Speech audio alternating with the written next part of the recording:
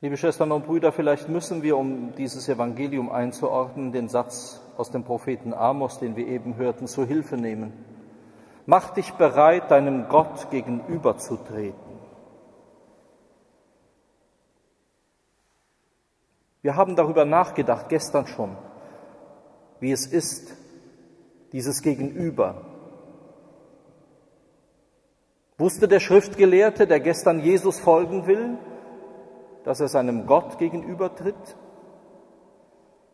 Wusste es der Jünger, der zuerst noch die Toten begraben will, den toten Vater, dass er seinem Gott gegenübersteht? Wissen wir es? Wissen wir es, wenn wir von Jesus reden, wenn wir ihn in Anspruch nehmen, manchmal für uns reklamieren, wenn wir sagen, wir sind dein, wissen wir es? Gestern hat niemand reagiert. Gestern gibt es diesen Satz nicht. Was ist das für ein Mensch? Obwohl er unglaubliche Forderungen stellt und unglaubliche Sätze sagt. Der Menschensohn hat nichts, wo er sein Haupt hinlegen kann. Lass die Toten ihre Toten begraben. Keine Reaktion. Wir lieben halt bis heute das Spektakuläre. Das zieht uns in Bann, das beeindruckt uns, wie ein solches Naturschauspiel, dessen Zeugen wir heute im Evangelium werden. Ja, wenn so etwas geschieht, dann ist es ganz leicht, zumindest leicht zu staunen. Zumindest über eine Frage, dem näher zu kommen, wer Jesus ist. Es zumindest einmal als Frage zu formulieren. Wir, liebe Schwestern und Brüder, wissen es doch längst. Wir brauchen solche Schauspiele nicht. Ich will das auch nicht, Gottes Willen, nicht abwerten. Es blitzt ja immer nur ganz wenig auf, auch in den Jahren mit den Jüngern.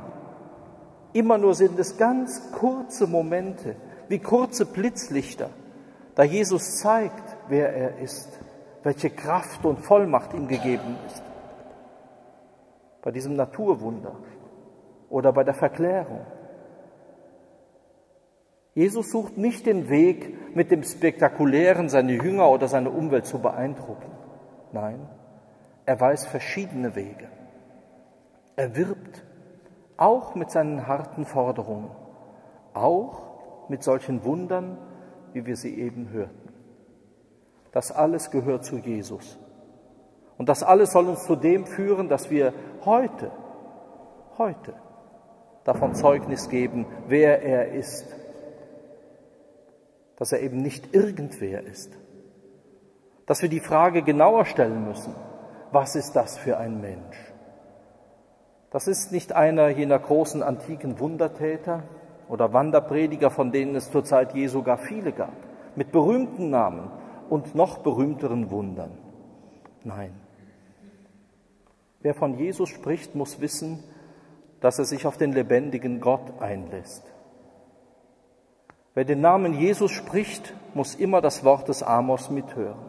Mach dich bereit, deinem Gott gegenüberzutreten.